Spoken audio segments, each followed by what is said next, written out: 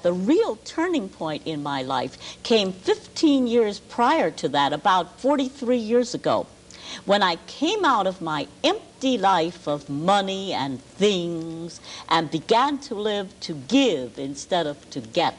Oh, it was just the most wonderful change in my life. My life just blossomed out. I remember three things happened. I attained the great blessing of good health. You know, I haven't had an ache or a pain or a cold or a headache since. I knew my life work was going to be work for peace. Not only the outer peace, but the inner peace, which I talk about the most because that's where peace begins. It's very good to know what your life work is because then you can get busy on it.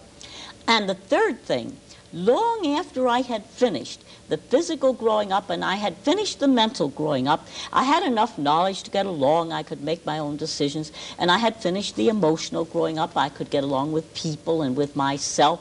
I began the spiritual growing up, which takes you from the self centered life into the life where you see yourself in proper perspective as part of the whole and work for the good of the whole.